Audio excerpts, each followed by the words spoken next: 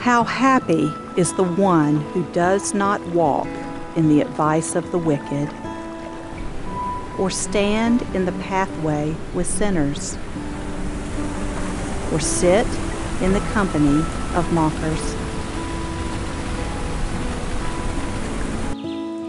Instead, his delight is in the Lord's instruction, and he meditates on it day and night.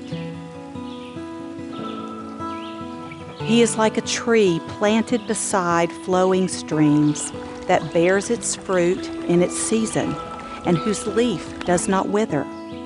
Whatever he does prospers. The wicked are not like this. Instead, they are like chaff that the wind blows away.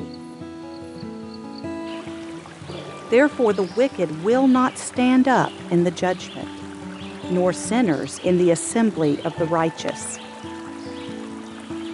For the Lord watches over the way of the righteous, but the way of the wicked leads to ruin.